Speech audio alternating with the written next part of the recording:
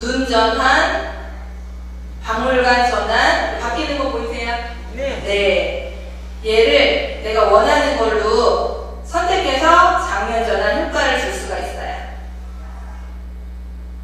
네. 요, 메뉴가 굉장히 많아요. 그래서 내가 원하는 효과를 넣어보고 싶으시면 쭉 위에서부터 눌러보시면 돼요.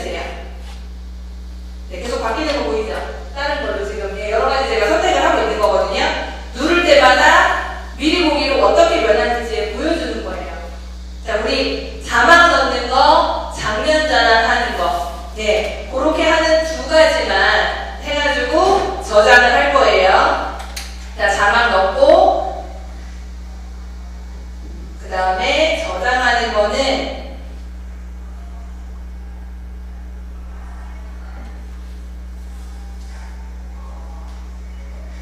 지금 키네마스터